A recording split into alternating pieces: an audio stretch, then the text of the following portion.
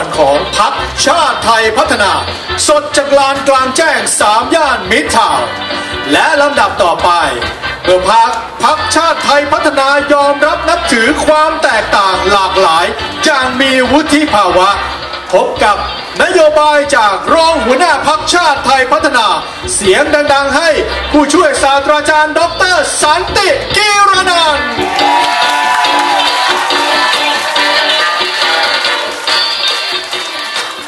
สวัสดีครับ สวัสดีครับ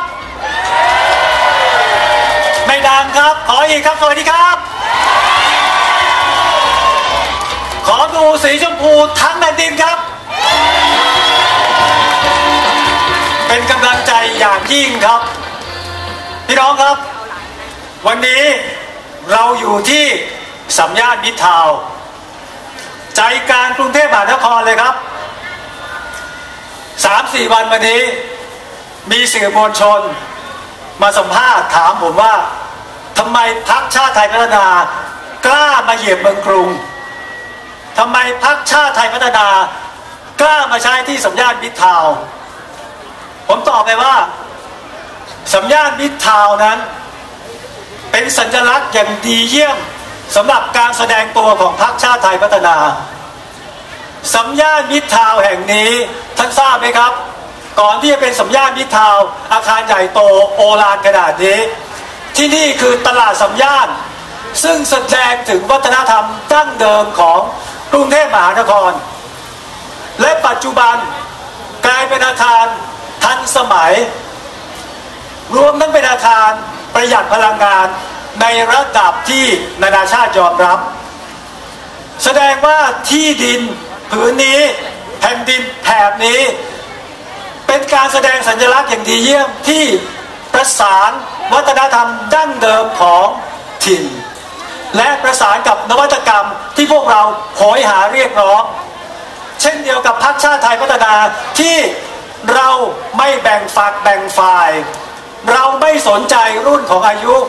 เราสนใจเพียงแค่ขอให้คนเหล่านั้น เป็นคนที่มีความคิดสร้างสรรค์ ใช้พลังงานทางบวก เพื่อร่วมกันพัฒนาประเทศไทย ดังนั้นสัญญาณพิทาวคือสัญลักษณ์เดียวกับพรรคชาติไทยพัฒนาครับ พี่น้องครับ สัญญาณพิทาวแห่งนี้ไม่ใช่มีประวัติศาสตร์อันยาวนานอย่างที่ผมได้พูดไป ตรงกันข้ามคือจุฬาลงกรณ์มหาวิทยาลัย คณะที่ท่านกำลังเห็นอยู่ตรงข้ามเลยเนี่ยนะครับ คือคณะพาณิชยศาสตร์และการบัญชี จุฬาลงกรณ์มหาวิทยาลัย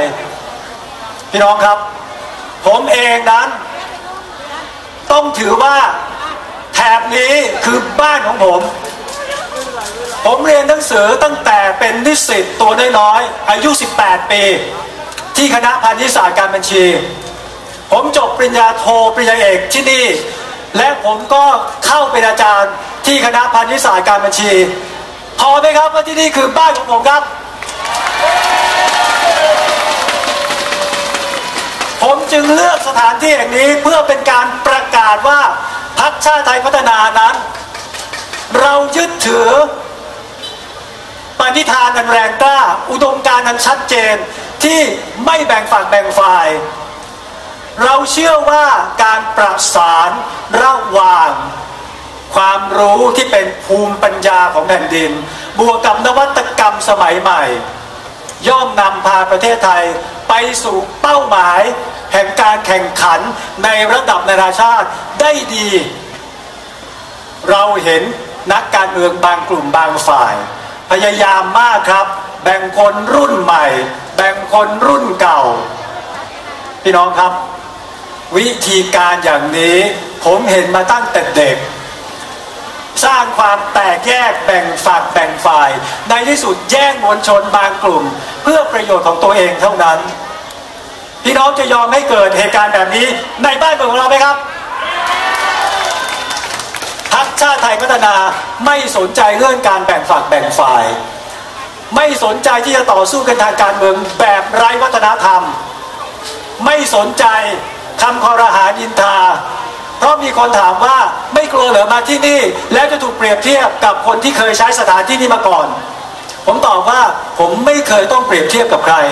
ผผมต้องการเปรียบเทียบการทำงานกับตัวเองเท่านั้นว่าทุกวันที่ทำงานนั้น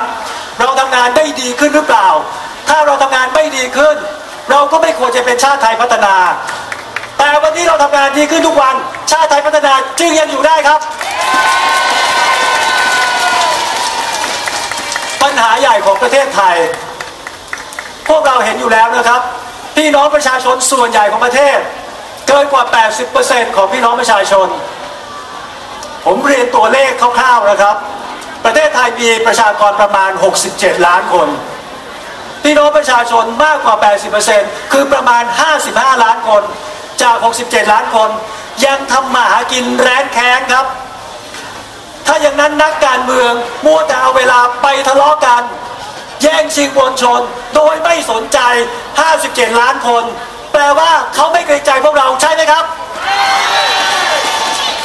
พักชาติไทยพัฒนา นอกจากจะเกรงใจประชาชนแล้ว ยังยึดถือประโยชน์ของประชาชน ส่วนใหญ่ของประเทศเป็นหลัก ดังนั้น 57 54 67 ล้านคน ตัวเลขจะเป็นเท่าไหร่ไม่สำคัญ เราใส่ใจที่จะดูแลพี่น้องประชาชนทุกคนให้เกิดความเสมอภาคเท่าเทียมกันในทุกมิติ ไม่ว่าจะเป็นเรื่องเศรษฐกิจ การเมืองหรือสังคม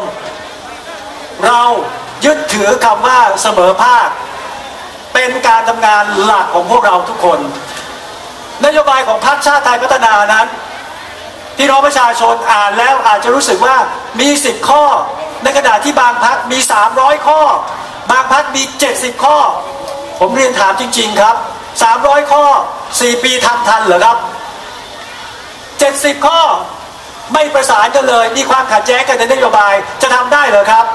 ในขณะที่ 10 นโยบายของเรานั้น เป็น 10 นโยบายที่เน้นถึงพี่น้องประชาชนส่วนใหญ่ของประเทศ คือ 54 ล้านคนจาก 67 ล้านคน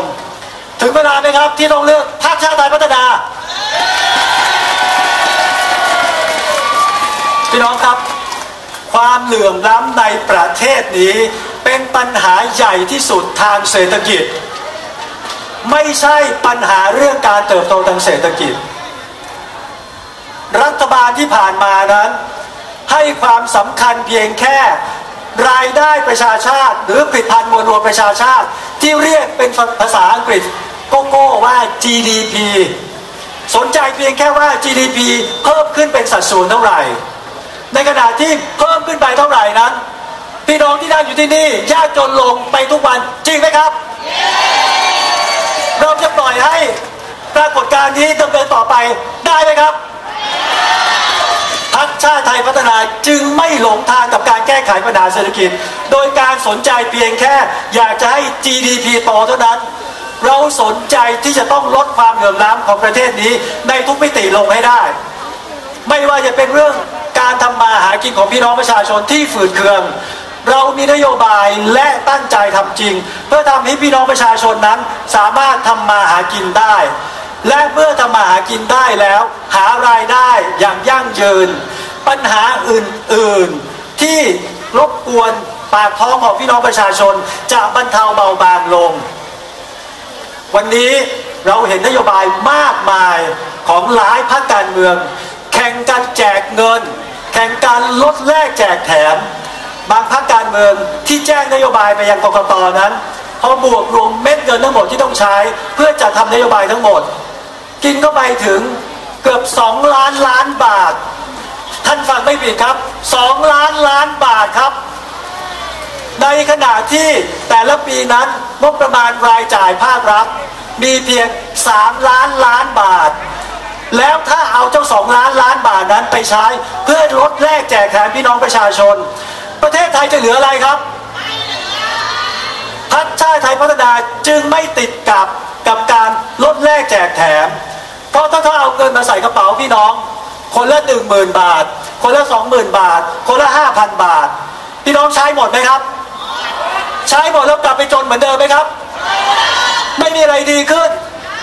พรรคชาติไทยพัฒนาจึงไม่เชื่อวิธีการแจก ไม่เชื่อว่าการลดแลกแจกแถมนั้น จะลดความเหลื่อมล้ำของพี่น้องได้ซูมดีๆนะเมื่อกี้อาจารย์เรามั่นใจว่านโยบายของเราอาจจะไม่ดูหวือหวา แต่สามารถทำให้พี่น้องประชาชนพิ่มความสามารถในการหารายได้ เพิ่มความสามารถในการทำมาหากิน แปลว่าพี่น้องประชาชนสามารถยืนอยู่บนลำแข้งของตัวเองได้ อย่างนี้ชอบไหมครับ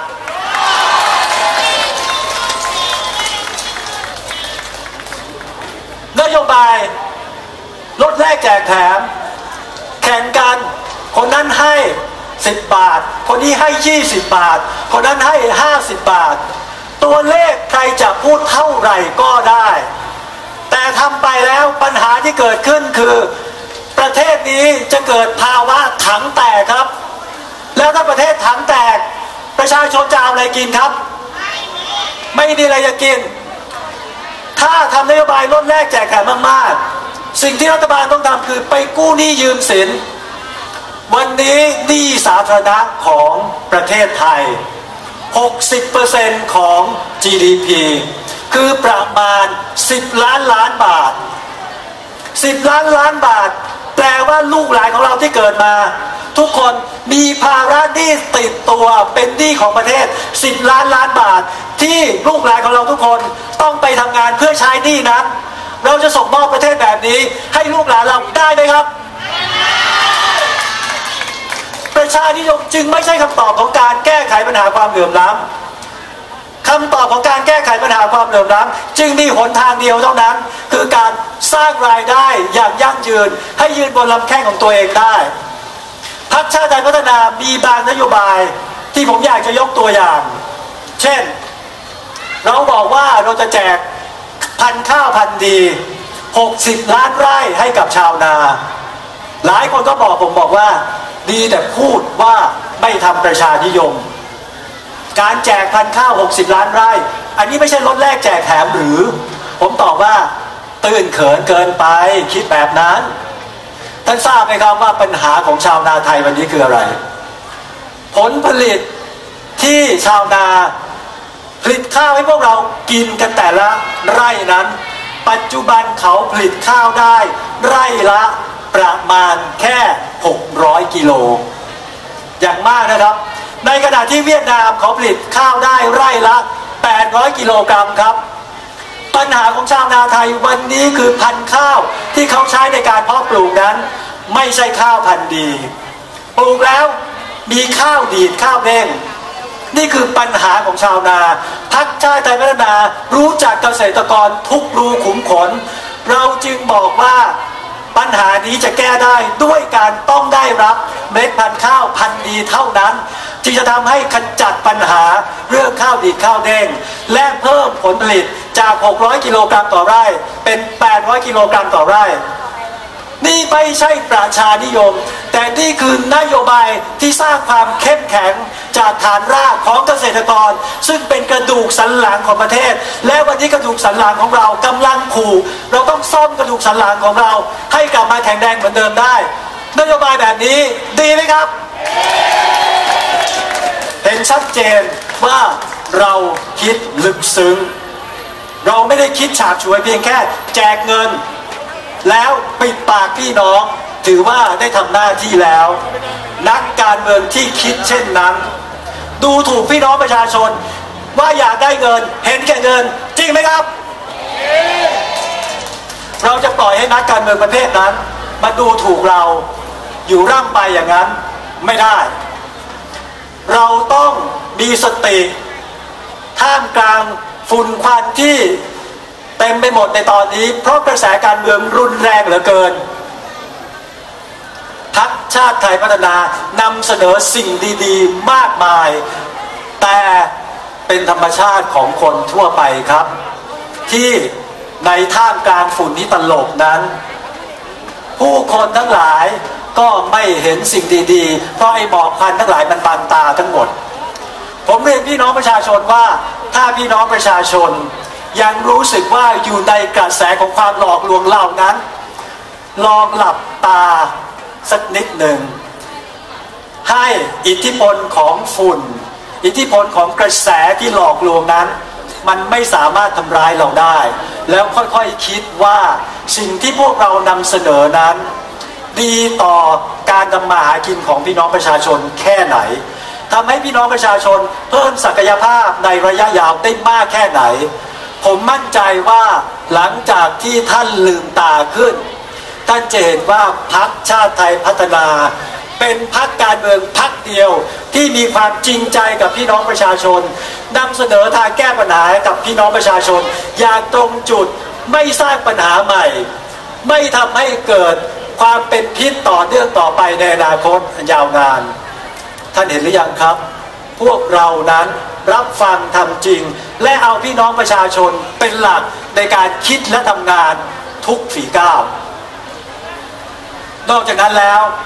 นโยบายดีๆ ที่พวกเราพยายามนำเสนอ เราไม่ได้มาเพียงแค่นโยบาย หลายพรรคการเมือง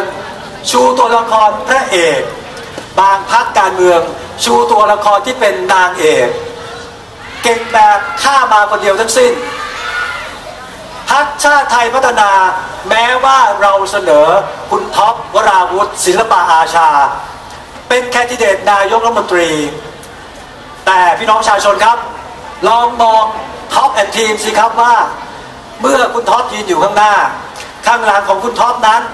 มีกำแพงเหล็กเป็นกำแพงหนา ประกอบด้วยคนทุกวัย ที่มีความชำนาญคนละด้านท็อป and team นี่แหละครับ ที่ประสานพลังจากหนึ่งบวกหนึ่งได้ผลลัพธ์ที่มากกว่าสองฉะนั้นท็อป and team นี้ไม่ได้สนใจว่าทีมของคุณท็อปจะเป็นคนอายุเท่าไหร่ มีทั้งเด็ก มีทั้งผู้ใหญ่ มีทั้งวัยกลางคน แต่ทุกคนนั้นมีประสบการณ์ในแต่ละเรื่องที่หลากหลายแตกต่าง ดังนั้นพี่น้องประชาชน เลือกบัตรสีเขียวด้วยการเกอกาเบอร์ 18 นั้น พี่น้องได้ท็อป and team ไม่ได้ได้วราวุธคนเดียวเท่านั้น กาทีเดียวได้หลายคนเลยดีกว่าไหมครับ พี่น้องครับ ผมพูดมาใช้เวลามาพอสมควร ผมอยากจะกราบเรียนว่า วันนี้ที่เรามาพื้นที่นี้สัญญาณนิดทาวแห่งนี้ เห็นพี่น้องมากันมากมายกายกอง เปลี่ยนสัญญาณนิทาวให้เป็นพื้นที่สีชมพู และไม่ใช่สีชมพูเพียงแค่สีเสื้อที่พวกเราใส่ สีชมพูนั้นนอกจากจะหมายถึงพักชาติไทยพัฒนาแล้ว ที่ผมกราบเรียนตอนต้นบังเอิญมากครับ ผมนั้นมีเลือดสีชมพูเต็มตัว เพราะผมเรียนหนังสือที่จุฬาลงกรณ์มหาวิทยาลัยจนกระทั่งทำงานที่จุฬาลงกรณ์มหาวิทยาลัย นั่นหมายความว่าโชคชะตาและพรหมลิขิตนำพาให้ผมต้องมารับใช้พี่น้องประชาชน ในเสื้อสีชมพูของพรรคชาติไทยพัฒนาครับ ผมไม่สามารถสัญญากับพี่น้องได้ว่า หลังเลือกตั้งแล้ว ผมจะให้สิ่งของอะไรกับพี่น้องประชาชน เพราะการสัญญาว่าจะให้นั้น นอกเหนือจากผิดกฎหมาย ยังเป็นการดูถูกพี่น้องประชาชน อย่างให้อภัยไม่ได้ แต่ผมสัญญาว่าถ้าพี่น้องกาเบอร์ 18 ในบัตรสีเขียว ตั้งแต่วันพรุ่งนี้คือวันที่ 7 และวันที่ 14 พฤษภาคม พี่น้องกำลังเลือกคนที่สัญญาว่าจะเข้ามาทำงานด้วยจิตใจอันบริสุทธิ์ ไม่มีการคดโกงพี่น้องประชาชน ทุ่มเทกำลังใจกำลังกาย ไม่ทำงานแบบฆ่ามาคนเดียว แต่เป็นท็อป and team เพราะเราเชื่อมั่นในการทำงานแบบทีม โดยที่ภาษาอังกฤษเรียกว่า collective leadership หรือจะแปลเป็นภาษาไทยว่า ภาวะที่มีผู้นำร่วมกันอย่างหลากหลาย เพื่อนำพาประเทศไทยไปสู่ประเทศที่ดีกว่านี้ กาทีเดียวได้ทั้งทีม ดีกว่ากาทีเดียวได้คนเดียว จริงไหมครับ พี่น้องครับ ผมใช้เวลากับพี่น้อง เพื่อพยายามเรียนว่าเรามีความแตกต่างจากนักการเมืองที่พี่น้องเบื่อหน่าย เอียนอาเจียน เพราะมัวแต่แก่งแย่งชิงดี แบ่งฝักแบ่งฝ่าย ต่อสู้ห้ามหัน ไม่ว่าใครจะชนะ อีกฝ่ายหนึ่งจะแพ้ แต่คนที่แพ้มากที่สุดคือ พี่น้องประชาชนและประเทศไทยครับ